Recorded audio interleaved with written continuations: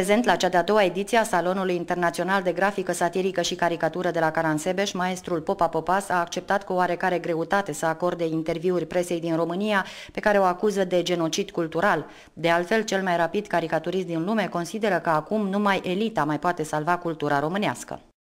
Numai elita dacă va fi refăcută în România și veți avea grijă de elita aceasta, 100-200 de oameni valoroși ai țării, care au demonstrat în decursul istoriei că elita dă stabilitate unui stat și dacă aveți grijă de această elită și o reînviați, numai aceasta va poate salva România. Maestrul a mai declarat că în curând, în orașul său natal, la Caransebeș, va fi deschis primul muzeu din lume care să-i poarte numele. Eu am deschis în România la Macea, la castelul din Macea, mai că, dacă, nu știu dacă știți, acolo vineau și vin și acum camioane și ăsta, mulți uh, turiști din străinătate, mai puțin români, să caută muzeul de la Macea, numai că acolo este un castel care a avut o ciupercă și a distrus lucrările.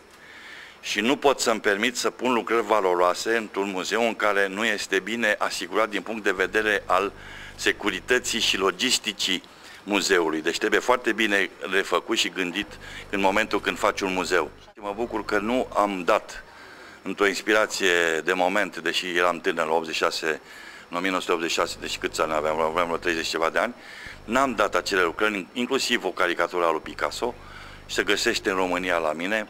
Așa a fost să fie că am vizitat Franța la uh, lui Mezier Robert și a apărut uh, uh, fica lui unui mare desenator, uh, Jean Eiffel și uh, alți desenatori francezi care au trăit acolo și a spus, băi, uh, noi vrem să-ți dăm ție desenele, noi știm cine ești, pentru că francezii n-au pus mare bază pe aceste desene. Și atunci am intrat în posesia și eu altor lucruri de valoare care eu pot să le prezint în muzeu. Dar nu pot să vă spun că acum ce prezint, pentru că trebuie să rămână și secret. Aflat pentru a doua oară la Caransebeș, în drumul său de la Bruxelles la București, ambasadorul Belgiei, Beche Filip, a vizitat salonul de caricatură. Excelența sa s-a arătat extrem de impresionat de atmosfera din oraș, de manifestările organizate cu prilejul celei de-a opta ediție a Festivalului Sărbătorile Cetății și de Salonul Internațional de Grafică, Satirică și Caricatură. Well, it was a surprise that um, I was presented to Pentru mine a fost o surpriză extraordinară. Uh, și simt că iau parte din, uh, prin, acest, uh, prin această caricatură, simt că iau parte, în, am un loc în istorie și sunt foarte fericit. Îmi plac foarte mult uh, caricaturile, am de asemenea o mică colecție de caricaturi. Uh, pe vremea când eram student, uh, pentru a câștiga ceva bani în plus, uh, am fost ghid într-o în expozițiile de caricatură It has to be a very ingenious way of presenting life and that's why I think cartoons and caricatures are a little bit higher than the normal drawings that are made. Consider că aceste caricaturi sunt oarecum superioare uh, desenelor uh, de toată ziua comune, deoarece surprind uh, într-un anume fel esența, felul de a fi a fiecărui om în parte.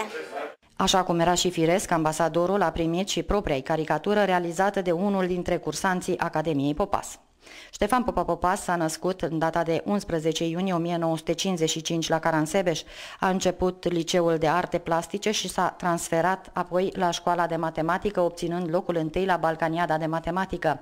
A practicat handbalul și atletismul de performanță. A început să deseneze la 5 ani, iar la 7 ani a fost publicată prima caricatură într-un ziar local.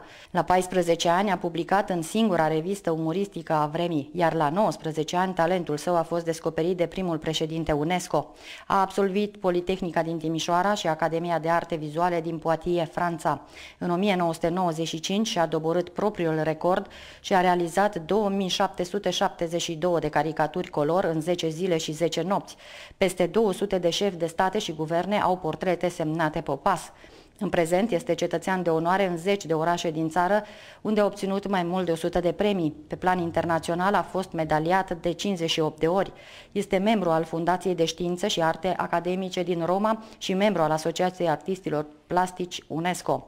A creat Academia Popas, școala românească de caricatură, a publicat caricaturi în principalele ziare și reviste din toată lumea.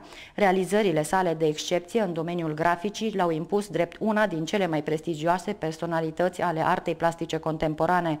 Este singurul român căruia i-a fost decernată distinția papală Palm d'Or. În Franța, în octombrie 1995, André Bor scria despre Ștefan Popa Popas că este o forță a naturii, este singurul om care a fost cu 4 secunde mai rapid decât calculatorul. Într-adevăr, am participat la o acțiune puțin spus deosebită, extraordinară, un lucru care se întâmplă a doua oară în Caransebe și sper să se întâmple în continuare.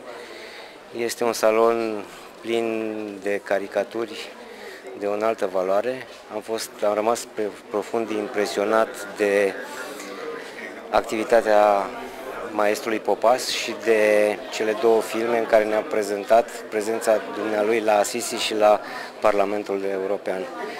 Nu putem să fim ca și caransebeșeni decât onorați că este un om de-al locului, un om al Caransebeșului și care nu a uitat că din Caransebeș a plecat și s-a întors cu mare drag și cu mare bucurie să ne aducă încântări ale ochilor.